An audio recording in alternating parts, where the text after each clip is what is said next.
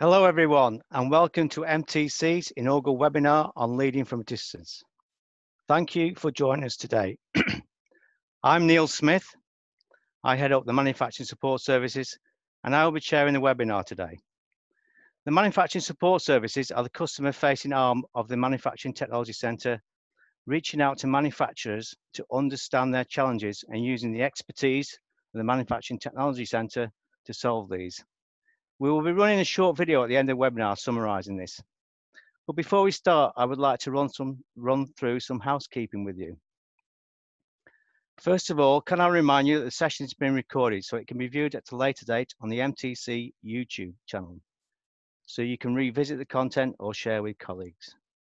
Details of this and other information relevant to the webinar will be shared with you in a follow-up email after this event. For the purpose of the webinar, you, the audience, will be in listening mode only with videos and mics turned off. Your viewing options can be adjusted by clicking the View Options tab, which is positioned at the top of your screen. Use the drop-down menu you can either to either show or hide the video panel. During the webinar, we will be inviting you to ask questions using the Q&A function, which is located at the bottom of your screen. Your questions will be answered by our speakers at specific intervals during the webinar. We will try to answer as many as possible, but due to time constraints, we may have to be selective. If you're using the chat function, please note that our comments, that your comments will be visible for everyone to see. And you can share anything on social media if you wish. So in today's seminar, which we expect to last about 45 minutes, we have two speakers, Tim Andrews and Darren Massingham. Tim is a lead digital transformation advisor at the MTC with responsibility to support companies in adopting digitalization in their manufacturing processes. Prior to joining the MTC, he spent over 25 years in leadership roles in technology businesses, most recently concerned with the design, development, and delivery of cloud-based applications for blue chip FMCG manufacturers. Starting out as a mechanical engineer, he's worked in a range of companies, including British Steel, GKN, and Massey Ferguson. Second speaker, Darren Massingham, is a senior advisor with the transformation team. He joined the MTC in February 2019 and has over 15 years of leadership and lean practitioner experience within a variety of sectors from manufacturing, automotive, utilities, motorsport, and consulting with a track record for leading and coaching teams that deliver sustainable business improvements and upskilling team members at all levels in all sizes of businesses, both national and international. So I'll just quickly run through the agenda for today's webinar. Um, so the, the webinar is titled Leading from a Distance. And this is the objective is to uh, inform you of the different digital tools available to support this and the consider considerations you need to make culturally to make this effective. Um, there will be then a brief introduction to the MTC and Catapult Centres, followed by the first presentation using digital tools to improve collaboration in remote working by Tim Andrews, how to better use digital tools and making data available in the business.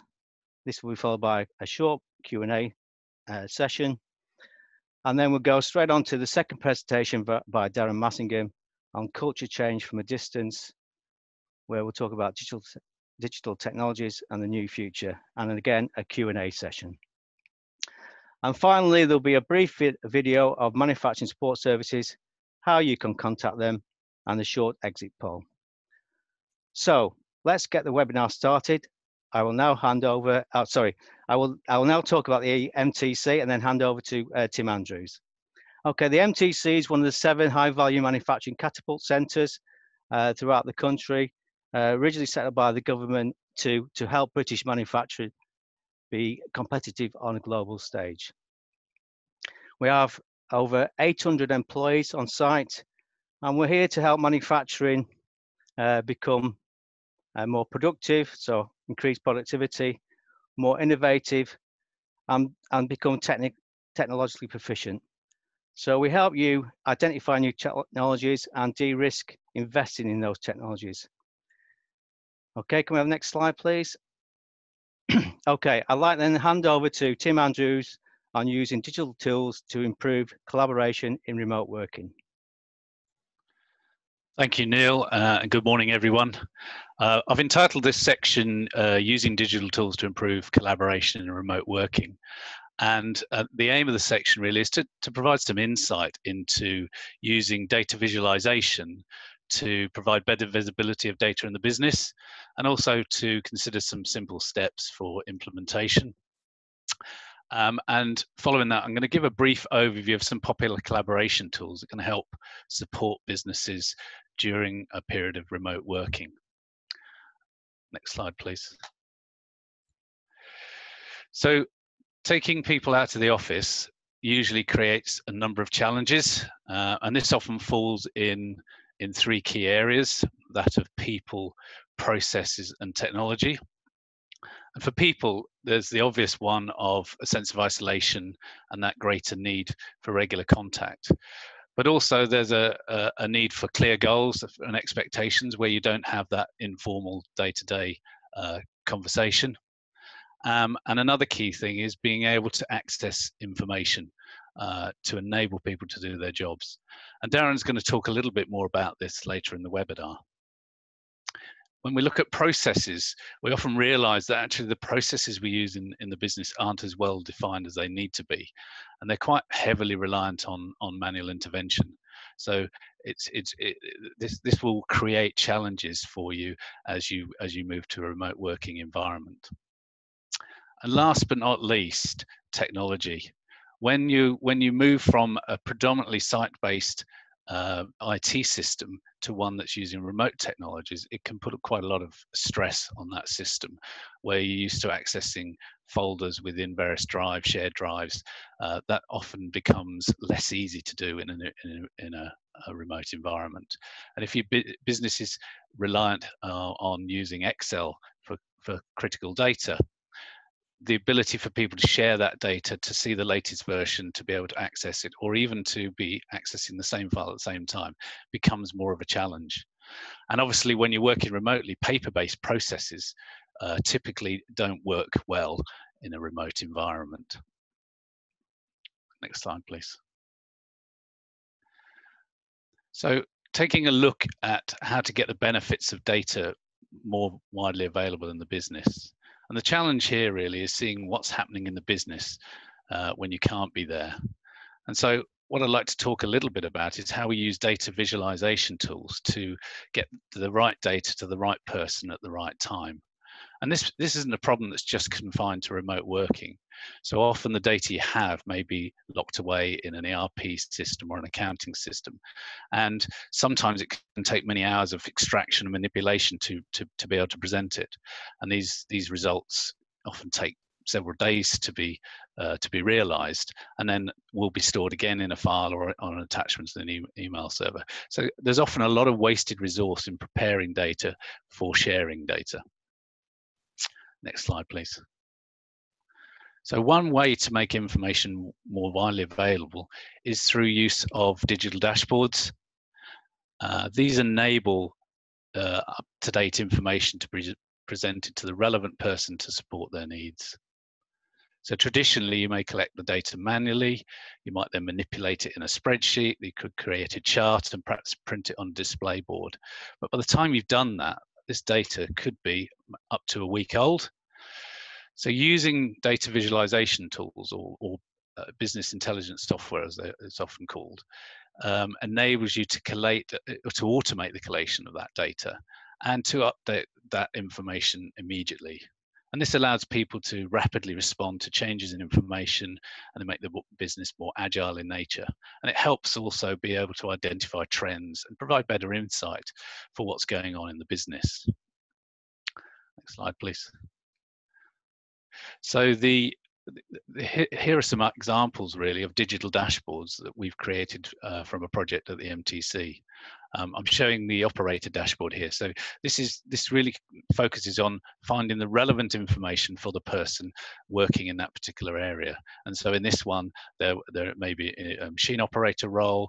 They've got the the, the current schedule of, of jobs that that are due to hit on that machine there are uh, this this could be augmented by some uh, machine conditioning data, so temperature, vibration, spindle speeds, etc. And then you could also add on uh, some aggregate data such as total volume produced or your current service hours on the machine, so you can see when uh, how close you are to the next uh, maintenance event. Next slide, please. So if you uh, for for a for a different role, such as uh, a supervisory or manager role, you'd want a, a, higher level view of what's going on. And here you could look at um, schedule uh, adherence, or you might have time and attendance reporting or machine utilization data. So it's making sure that the data is relevant for, for, for, for the, the role concerned. Next slide, please. For an executive or, or, or, a business owner, you would want another set of data which might uh, encompass more financial based information. So you might look at order input, uh, you might look at uh, costs, you might have health and safety data. So again, it's it's it's it's that at a, at a glance access to information uh, taken from the relevant system or uh, or wherever it is residing in the business and making it uh, up to date and present presented for for the relevant person. Next slide, please. Uh, here's a, an example of a project we, we undertook with uh, a company, Harris RCS.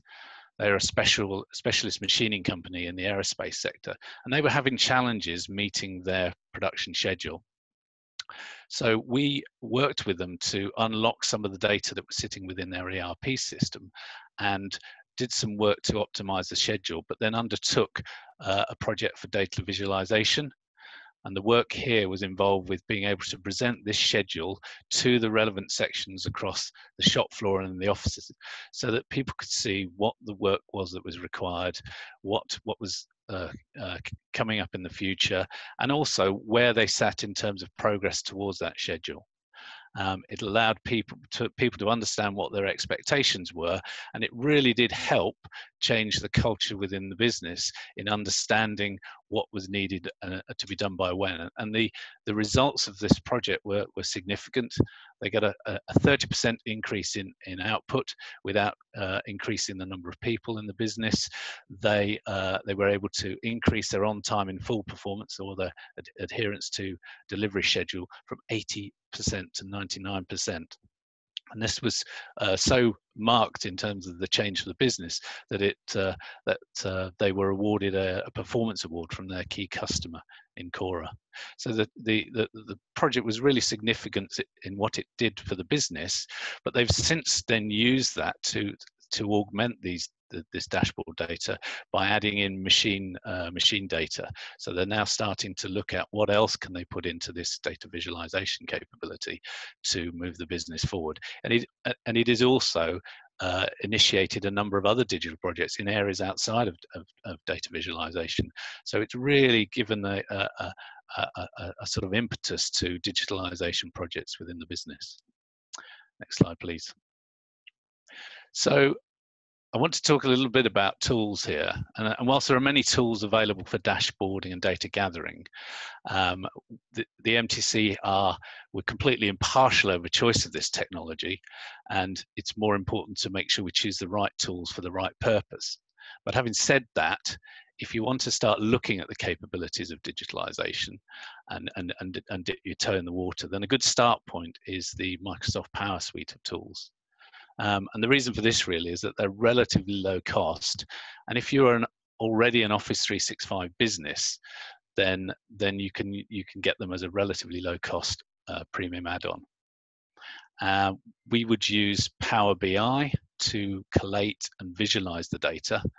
But then if you wanted to, or you needed to collect additional data, you might want to then use something like Power Apps to create a digitalized workflow where you can capture data which could then be used in that central data pot that could you to, to, to build those dashboards or to populate those dashboards. Next slide, please. So we've developed a, a dis discovery process really to help a business understand what those data requirements might be. And really it comes down to focusing on what's the data that's required by the business to en- enable that decision support activity. So the first step really is to understand what the data is that, that's necessary. The second would be to identify where the data is or whether it needs to be captured and what an, an analytics need to take place. We then go we then go and look at some of the right tools plan and design what that solution would be, where the data needs to sit, what are the roles, what are the access needs, um, and then finally move on to to uh, looking at developing the dashboards themselves. And the important thing here for us really is to work with the team uh, in the business to to do the, the, the the embedding of the data and the skills.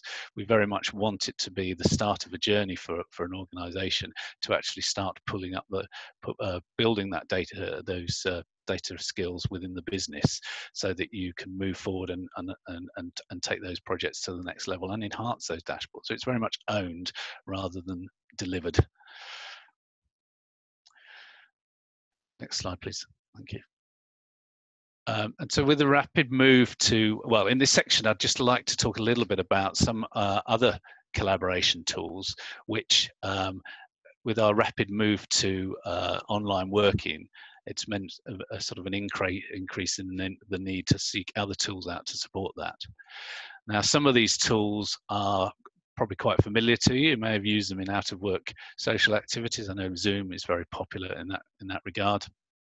But fundamentally, they are all provided uh, by industrial uh, as, as, industrial solutions. So they've they've got the the backing of larger organisations in this in this webinar, I'm not really going to give an exhaustive review of the pros and cons, but I just wanted to give a quick overview of some of the most popular ones. Um, and the ones we've chosen to cover here are Google Hangouts, which is part of the, G Google G Suite, Microsoft Teams, Zoom, Discord, and Slack. Uh, and the fundamental advantage of these teams really is that they provide a, a low cost but efficient way of enabling staff to communicate um, and share information, which is really important in, in a remote working environment. Um, each has a very different interface, but they have a broad range of features.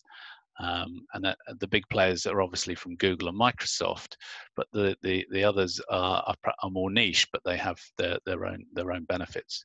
They all provide the same basic capabilities really in terms of video and audio conferencing, screen sharing, an instant messaging capability, and the ability to file share. And they, they're all on a, a pay-as-you-go subscription model and can be viewed on desktop, mobile, and tablet. So uh, it's it, the, these are these are tools that are well worth uh, looking at if your business isn't already using them. Next slide, please. So this chart really pro just provides an overview of the core functionality of these of these five tools. As I mentioned before, they all offer similar feature sets, and your choice really would depend on what the best fit is for your organization. If you're a Microsoft Office 365 or a Google G Suite user, I think the choice is clear really. Um, because of the ease of integration with the Office software, it makes sense to, to look at those tools first and foremost. It means you can have a single sign-on that allows you to jump between both the, the applications and the, and the collaboration tools very easy, very easily.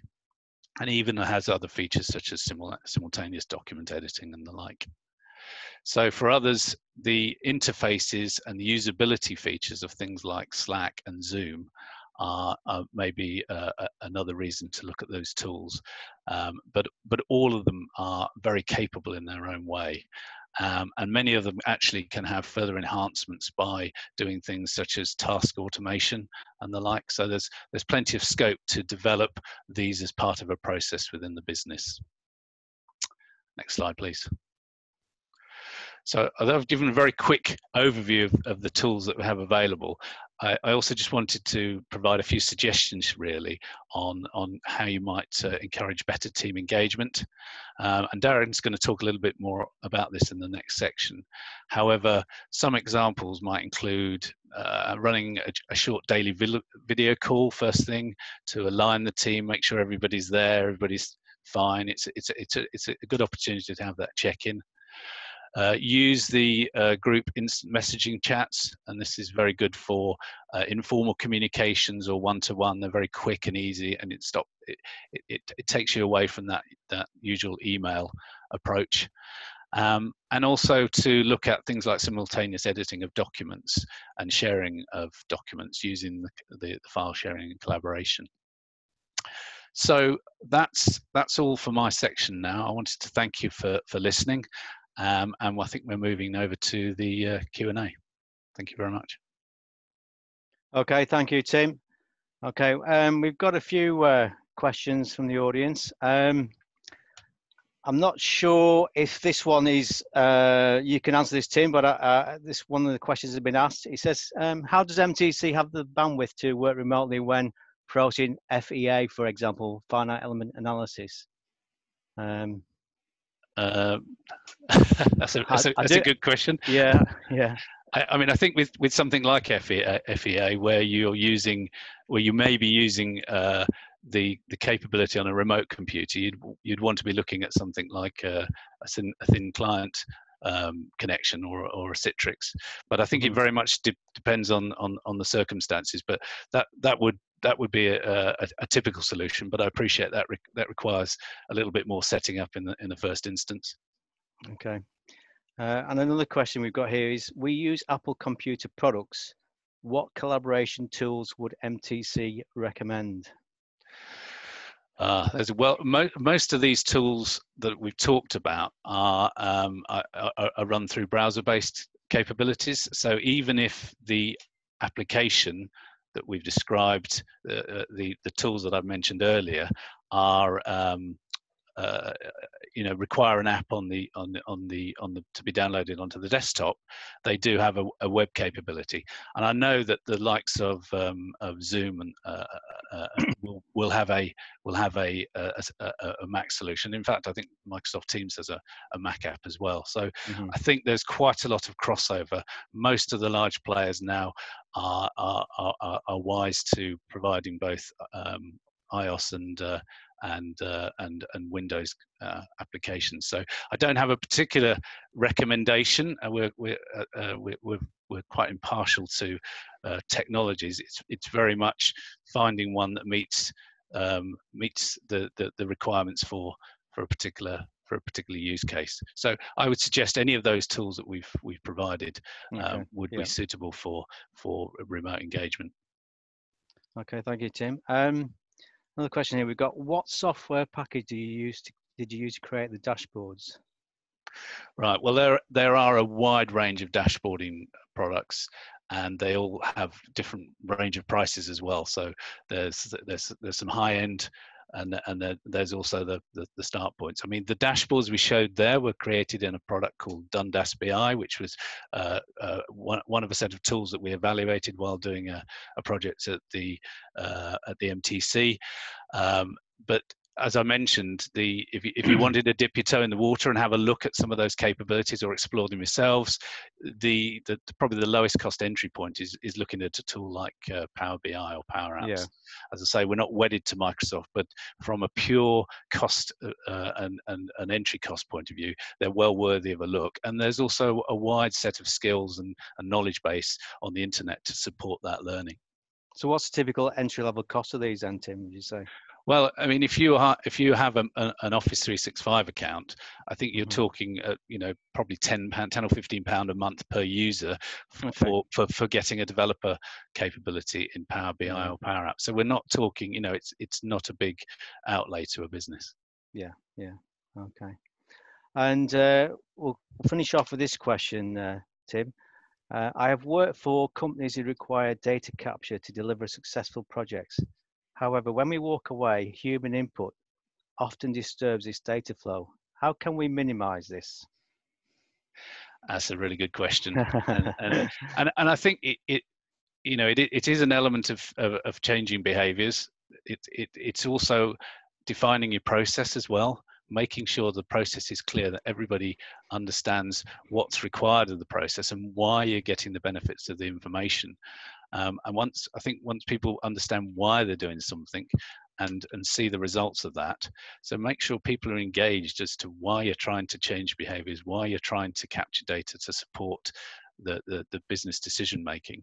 And I think they're, they're, you know, you're more likely to get people to, to, to recognize that. But it does take time. It takes time to get to, to, for people to get used to a changing process um, and also the, the capturing of, of, of, information to support that process. Okay, thank you, Tim. I think we'll conclude there uh, and we'll move on to the um, second presentation uh, by Darren Massingham, uh, Culture Change from a Distance, Digital Technologies, the New Future. Over to you then, Darren. Uh, thank you, Neil, and good morning, everyone. Thank you for joining on this webinar.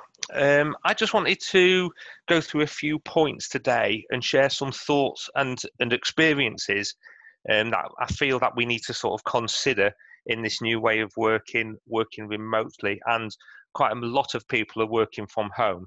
So it's for me, it's all about, and linking with what Tim said there, is making sure our team members are on board and feeling as comfortable as possible. And we can have a big part to play in that. So, uh, next slide, please.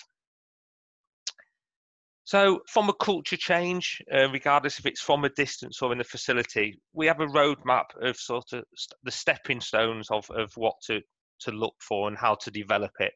Things from visions and missions, understanding the organizations and defining roles and responsibilities, but also looking at the business as a bigger picture and where are we within our organization maturity through you know leadership traits and behaviors. But at this moment in time, I just want to sort of focus on step one and really on the vision and mission and how do we how do we communicate this to our team members in the current climate. Next slide, please. So, as we are aware, a, a big emphasis has been on um, healthy work-life balance over over many years now. But obviously, during these um, unprecedented times, it's forced us to look into new ways of working, and the work-life balance for our team members and ourselves is more more and more difficult. So we really need to be aware of that and how and using these technologies to help isolate the um, and reduce the isolation factor that quite a lot of us are feeling at this moment in time. And as leaders, how do we inspire our teams to do so? As Tim's mentioned, the non-stop improvement of technology is helping us to do this and to work remotely. However, we need to still make sure our team members and ourselves are comfortable to do this and how we can set ourselves up to be successful working from home. So, next slide, please. I'd just like to sort of emphasize on three sort of steps for us to consider is looking at the vision and mission and i'm not talking about the overall business strategies and things right at this moment in time but it's about how do we want to operate right now in the times that we're in. Also regarding the company principles and and what our expectations are and and how do we inspire our team members currently. Next slide please. So, as always, we really need to define what is important for us to focus on.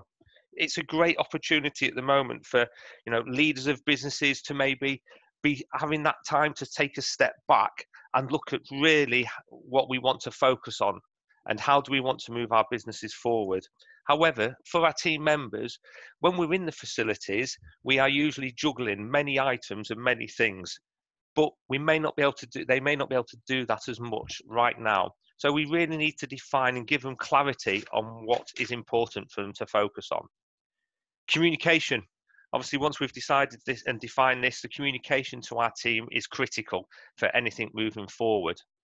And as Tim has mentioned, there's many platforms out there, but we need to implement an effective communication platform for our teams. And I'm going to move on to the next slide, please.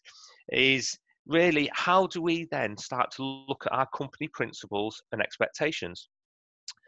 As I keep mentioning, the team need to feel comfortable when using video conferencing. And I'm talking from a personal experience.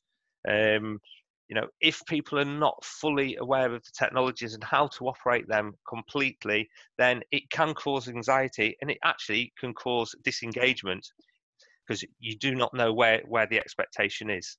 So things like dress codes on meetings. Let's just communicate and what is the expectation there, whether it's internal or in external meetings. Background scenes um, for, for the video conferences is something that really I think some of us forget about. But we have to remember we are now inviting ourselves into people's homes, and that separation of home and work life is is at the moment is very difficult. Not everybody has a nice, comfy home office to work in. I certainly don't. I'm sat in my dining room on a chair with a, with my son's cushion on, um, and you know we have to make sure that people are, are happy and comfortable of what people can see around them. First time we had a Zoom meetings, I'd look check my shoulder to see what everybody else can see. So as a business, maybe using things like Microsoft Teams and Zoom that I know has that function is having a common business background scene. So it just takes that ease of the, of the worry of certain team members of what others can see in their homes. We also need to understand the individual needs and pressures of team members and what their responsibilities are, again, at home at this moment in time, working remotely. Now, I, I have three children, and you know, at some points they're coming in and asking me for some, some support, whether it's homeschooling, whether it's for a drink or for lunch. But if you, if your team members and yourselves are in the middle of a meeting, what is the expectation and what is the agreed of support and guidance we can give for if somebody requires you on a meeting? A bit of housekeeping of turn your camera off or go on mute because you've still got them carers and them people that are dependent on you to take care of as well as working and balancing your work. So we really need to sort of support the team members on that, and most importantly, and ourselves, because we all have that. Next slide, please. So how do we really go about inspiring this new way? I think thinking about some of the, the, the comments I've made already is having them rules, having them guidelines, but again, we also need to understand that people's behaviors and approaches to things may have changed. Now, people may be feeling a lot more pressure trying to juggle that work life balance because at the end of the day, some people now are actually home is at work and work is at home. There is no sort of get out, there is no break from from the house or things like that.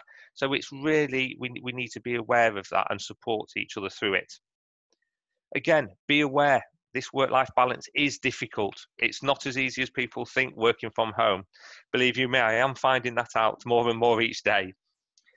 But also, let's use the technologies that's out there for the socializing and promoting cross functional teams.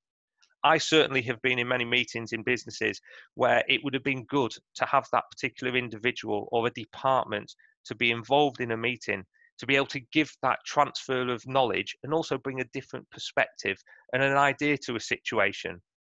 But as usual, some people they're not available. They may be at, they may be off site. It's too it's not worth travelling all that way on expenses. So let's use this technology where possible to invite them into these meetings remotely and be able to get that cross-functional feeling as well and different different thoughts. And let's not use just this technology for just work let's make sure we engage in our team members. So the example that you can see there is what I want to talk about. Technology is a fantastic tool and it's developing all the time and can and continue to keep improving as a, as a business. But I think there was one question before on Tim's on Tim's speaking is regarding when humans are involved, we need to make sure there is an understanding. And it's not just about throwing technology at it, we need to bring the people along with it. So the example that we've got here is where we we worked on the reverse side of things. Technology was seen to be the solution, and it is. However, the team needed to be on board and be ready to take this new technology on and, and really thrive with it. So we worked on the culture with the with the team.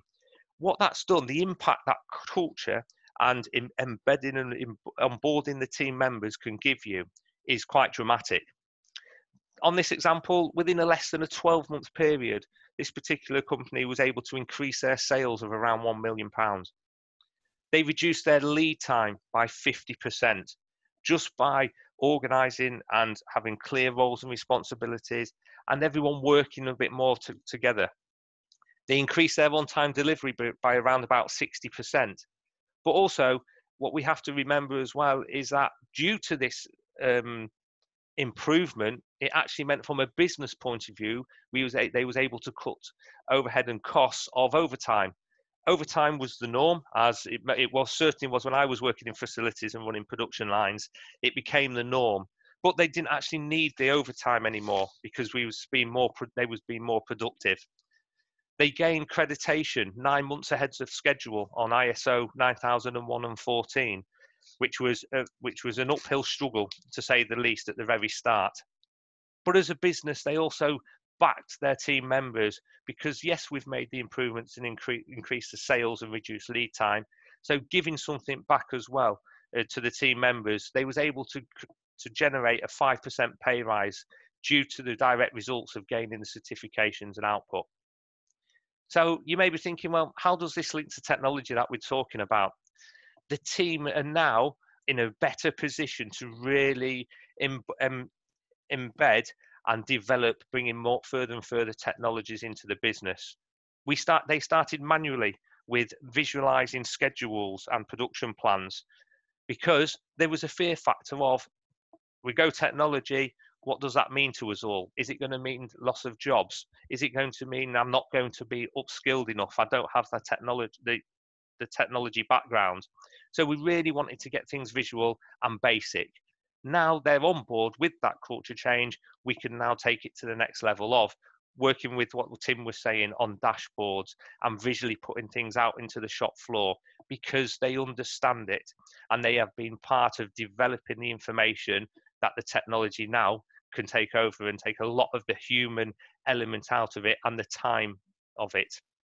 Team members have clear roles and responsibilities, but they also have their company direction and alignment. So, you know, culture is a big play, part to play in introducing technologies. It's how do we embed it? Next slide, please. So, at the MTC, we try to pra- we practice what we preach, and what we try to do to help our, our colleagues is working remotely is remember we also talk about obviously health and safety. We need to make sure even when at home our colleagues are keeping a, um, an eye on and we're supporting them with workstation safety and making sure their ergonomics and and is set up and to support their productivity. Again not everyone has nice offices and home offices with nice chairs and dual screens and things like that. So we just need to make our team members be aware your safety and the, and the workstation is just as critical now, if not more, working from home as it is in the offices and in the facility.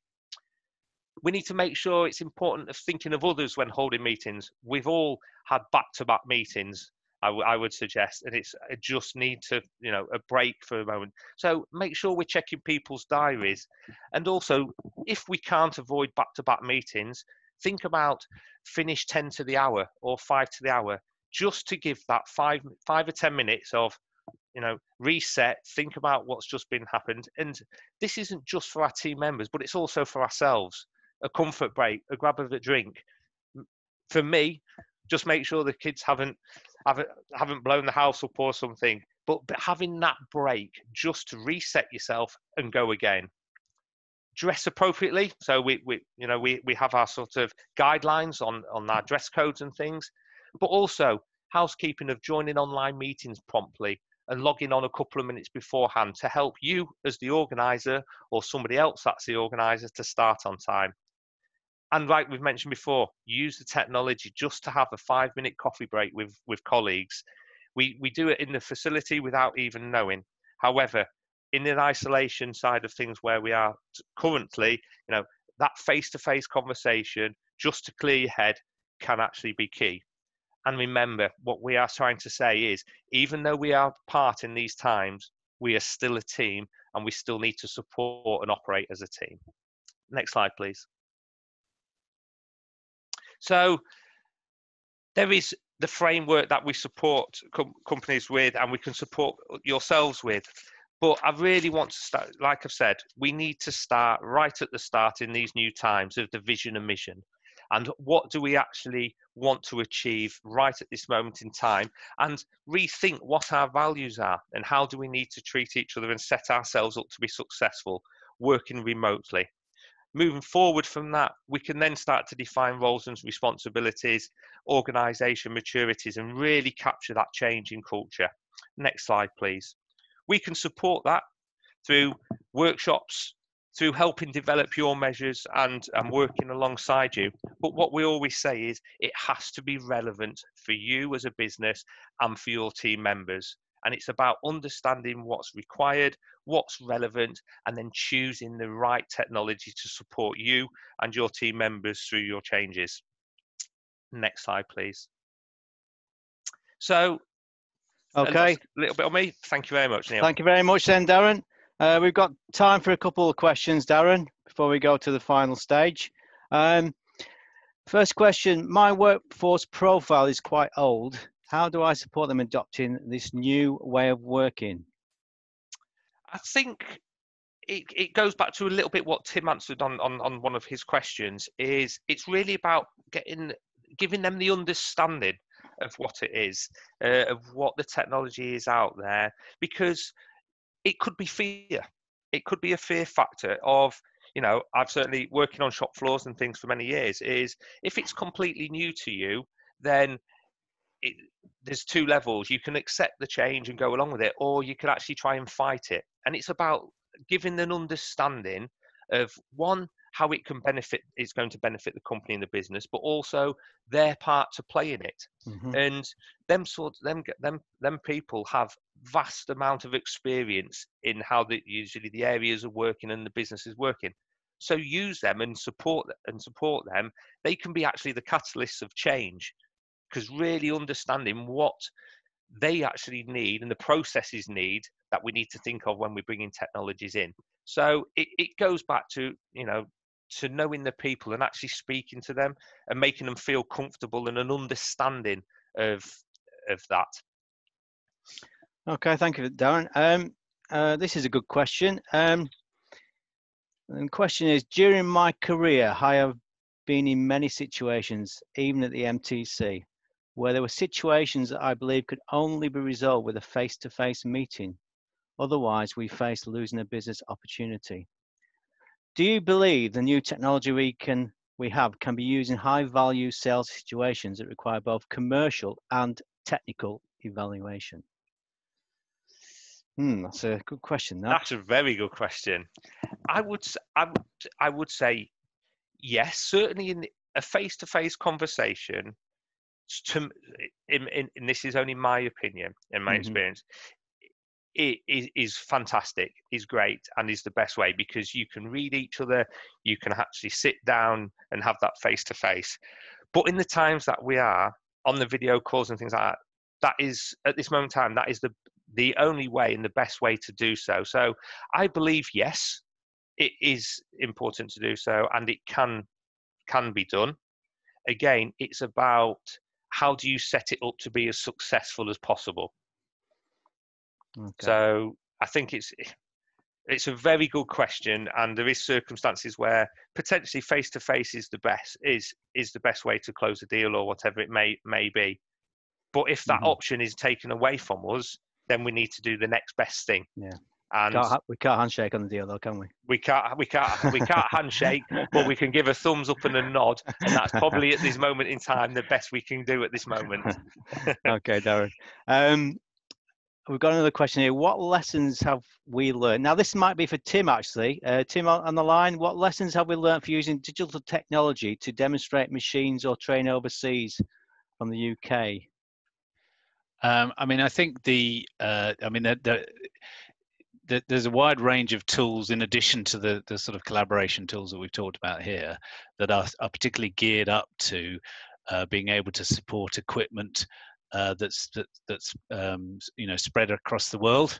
And uh, you know use of things like some of the low cost uh, or lower cost wearable devices but also dedicated software that's that's there for uh, for providing maintenance support and file sharing for somebody who might be actually working on a machine in a remote environment. So it, it, it, it, it's always going to be difficult if the person doing the work doesn't necessarily have the skill set to do that and you're trying to guide them remotely. But there's some really good tools out there with with uh, functionality that's particularly geared to supporting uh, remote problem solving, uh, remote expert uh, knowledge transfer, and sharing of documentation. Um, so that there, you know, there there are good tools out there to do that. I think uh, the shift from going from a, uh, a situation where you'd normally send an expert out there to one where you've either got to work with client engineers or, or, or the likes um, to be able to share that mm-hmm. information is, is, is a challenge. There's no doubt about it. But there is there, there there's a lot of technology that supports that, um, which uh, which can can help that going forward. And also in terms of being cost effective as well. So if a machine goes down, if you've already put in place the support capabilities, you've got the documents ready, you've got the you know that the the end user has a device uh, uh, that that that allow them to work with the software, then that can can be a very cost effective way of diagnosing problems quickly and then deciding whether it's it's a, it's a more serious problem or not. Okay, thank you. And one final question, I think again for you, Tim, this one. Working from distance, is it possible to project timetable and how best should one organize this? So just say that one again. Now. Working from a distance, is it possible to project timetable and how best should one organize this? Um, I, I think it is. I, I, mean, if, if I understand the, the, the question correctly, I mean, uh, in terms of uh, sort of remote project planning and managing or, or, uh, people in, in, in that environment, the tools that we've talked about, the collaboration tools, obviously are, you know, they, they're, they're as much used in yeah, they've the all office. got capability to organise that. Exactly, and I, and I suppose it's whether whether we're talking more about specific project uh, uh, Uh, uh, related tools and there are other su- suites of tools uh, uh some cloud-based uh, uh, i'm going to say pm tools project management tools mm-hmm, yeah. that that can be can work quite well in, in, in team environments but the basic functionality i think is still within the, the the types of tools we've described, it's um, as I say, there is there's a wealth of them out there, and and the, and the five we talked about are, are literally just a you know a, a, a small sample. Yeah, um, yeah. So I do I do think it is possible. I think it is adapting to a change in the way we work, um, and I think that, that that takes a bit of time. Okay, thanks, Tim. Right, um, time's moving on. So can we just quickly move on to the final part of the webinar, please?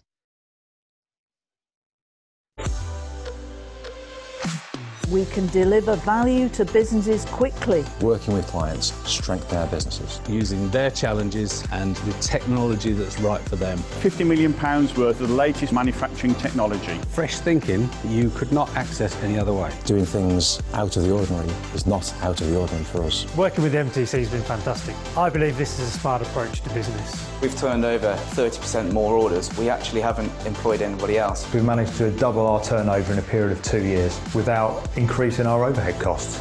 We focus on helping Great British manufacturing get even better.